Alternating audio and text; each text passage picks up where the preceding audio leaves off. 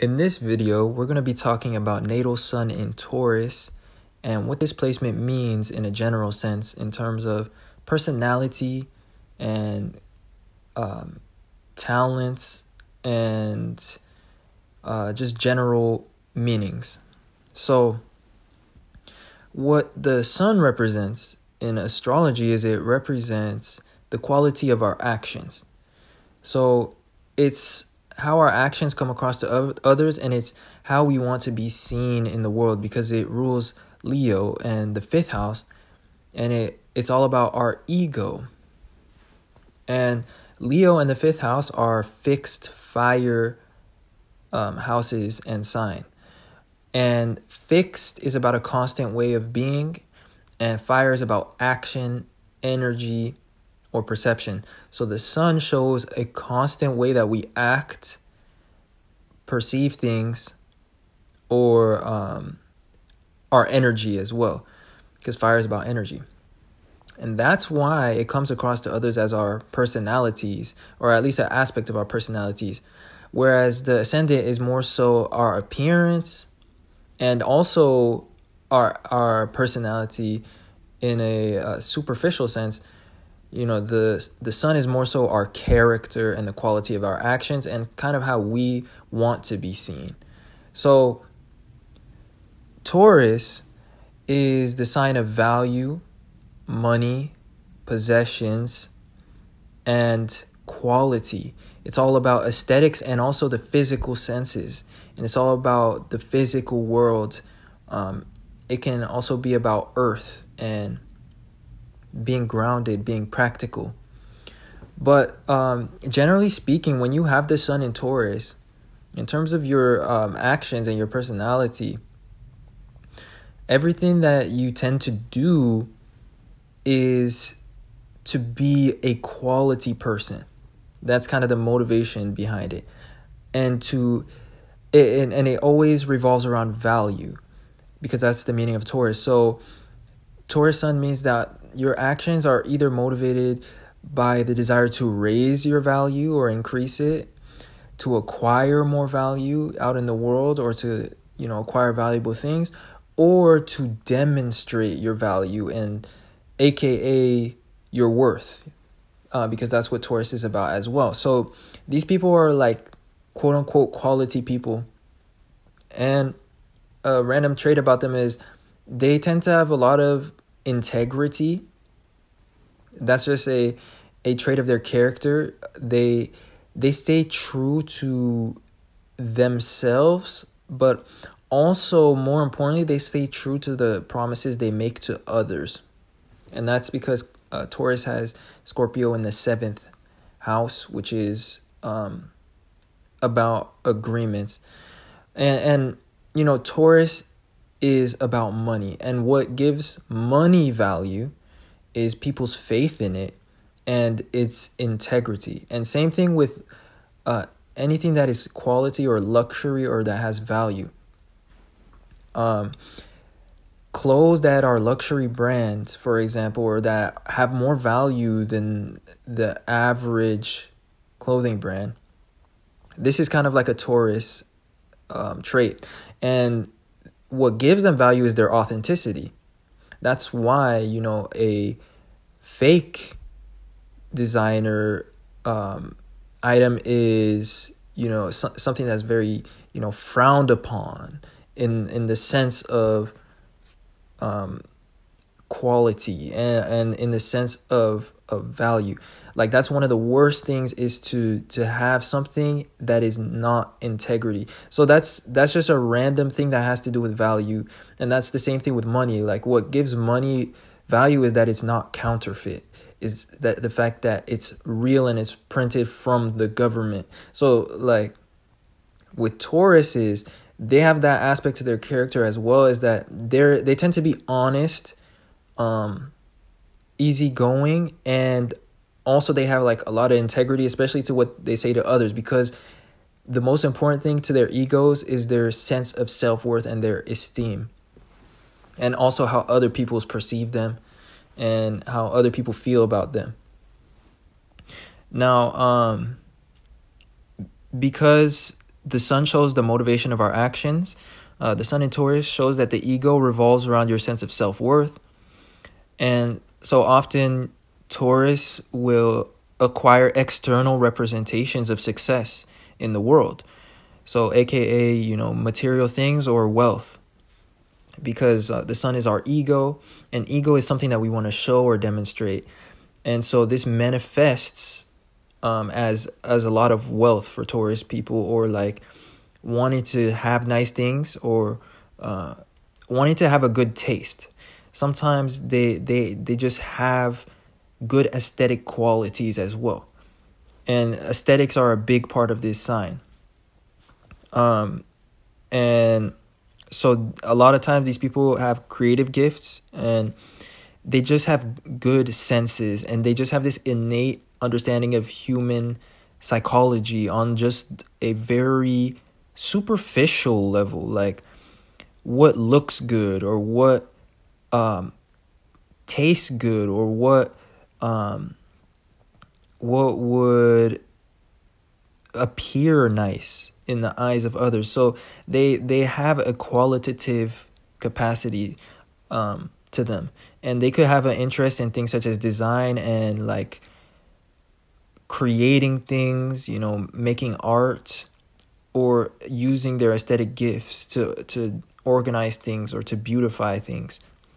Taurus is ruled by Venus, the planet of beauty, the, the planet of value, money, and um, and and material things. So also Taurus Sun. The next thing that I'm going to talk about is that Taurus Sun also indicates talents because Taurus is all about resources and talents are essentially intrinsic resources or possessions that we have as individuals. And so when people have second house activations or they have the the sun or you know a planet in Taurus, there is something talented about them because resources do not always have to be physical some sometimes resources can be somebody's mental faculties uh, or somebody's um, creative talents. So a lot of times Taurus will have talents, and especially wherever the house is that the sun in Taurus is in. So, for example, if you had the sun in Taurus in the third house, this shows that you have an intelligent mind or like a talented mind. Um, and it's something that can't can't really be taught whereas let's say if it was in um, the seventh house this would make somebody quite relatable and charming and just have a very uh, innate understanding of psychology because seventh house is about how we relate to others. So it really depends where you have it in. Um and this will show you what type of talents that you have. But um you know, the word talent comes from the Latin word talentum, and this was a Grecian measure of weight. A talent was a sum of money. So, talent is very tied to Taurus. Taurus is the sign of money, it's the sign of value, and therefore is also the sign of talents. And that's something people uh, may not know about this sign. Now, um, when the sun is in Taurus, it's in the 10th sign from its own sign, which is Leo. And the 10th house is about our reputation and how we are seen by others. So when you have the sun in Taurus, how you tend to be seen, which is uh, your your sun, and and how you uh, shine in the world, which is also the sun, is the fact that others tend to look at you or look to you as an example especially of quality, ideal, or success, especially due to your actions and your ambitions and the things that you do in the world. A lot of times that's how you want to be seen when you have this sign. But um, even as a child, you may be used as an example by teachers. You may stand out in some way. And uh, the 10th house is also about ambition and building things. So Tauruses love um, opportunities to build, especially to build their success. The 10th house is all about success. But even when it comes to pleasure and fun, which is ruled by Leo, it's all about passions, fun, and pleasure and games. And the sun rules Leo. So the sun being in Taurus shows somebody that loves building games. So as a child, a random trait is that Tauruses liked things such as Legos, especially. That could have been some of their favorite um, toys to play with. And they they just like games where they can build things. They like things such as The Sims. They like things such as Zoo Tycoon, like things where you could build your own city or your own business or your own reality. So they just love that. That's an aspect of their personality. They're very ambitious as well because the 10th house is not only about building, but it's about ambition. Now, uh, you may also attract many copycats as a Taurus, and you will um, a- attract some haters because your actions can um, incite jealousy or envy in others. That's because the reaction to Taurus is Scorpio. It's the opposite sign. So, um, often as a as a child, this can manifest as bullies, um, and it, this is just people that can't help but pay attention to you, and sometimes this manifests as um, them being negative towards you. But really, that's a it's all coming from the fact that you know people um sometimes can't help but like pay attention to you or be obsessed over your actions.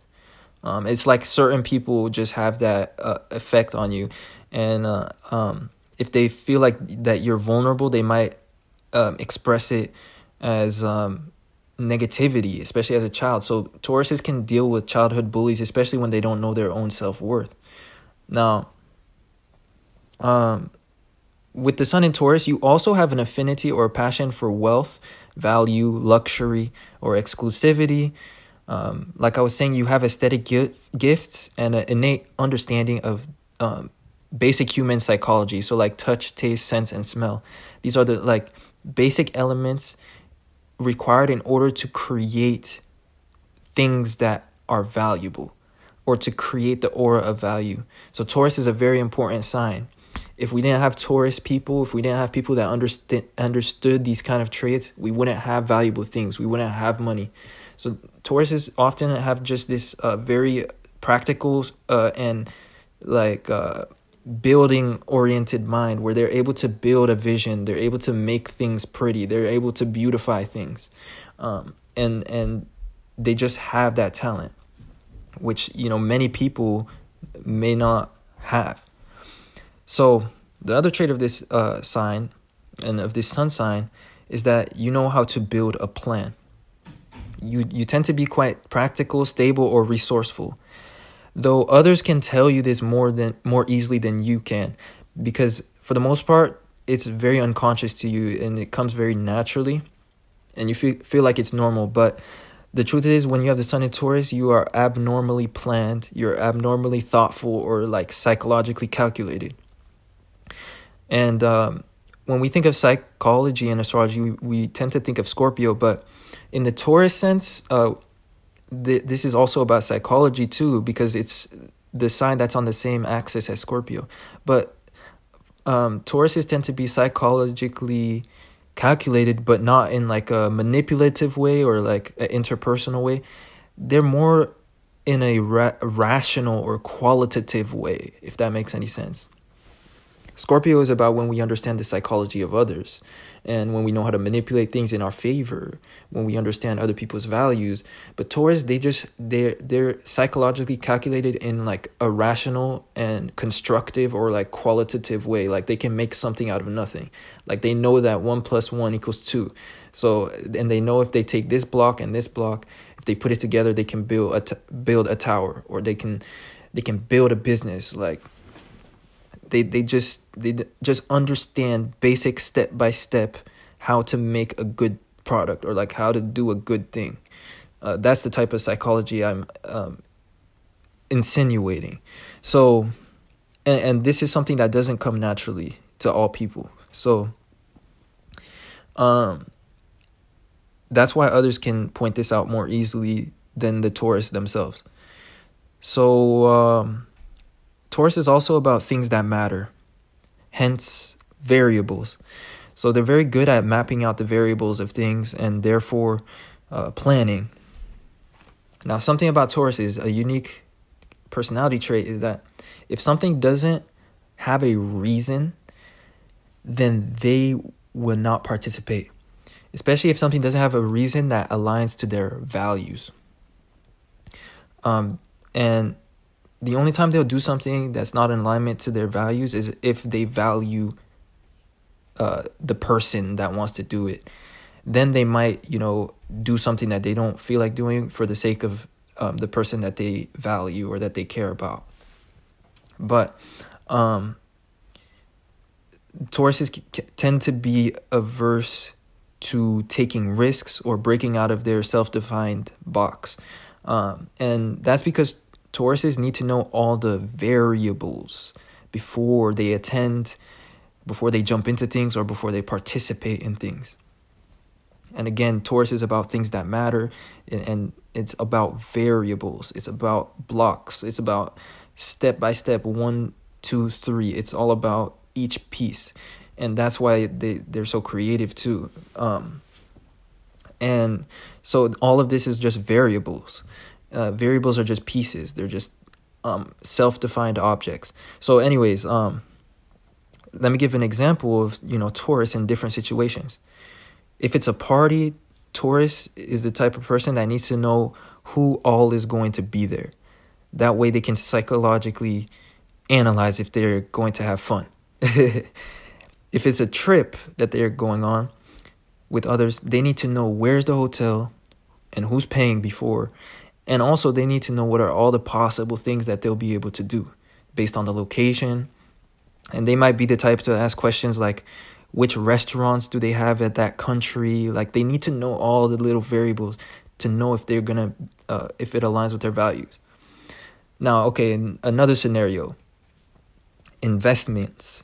So if it's an investment, Taurus is the type of person that needs to know all the factors that may or may not affect the success of the investment.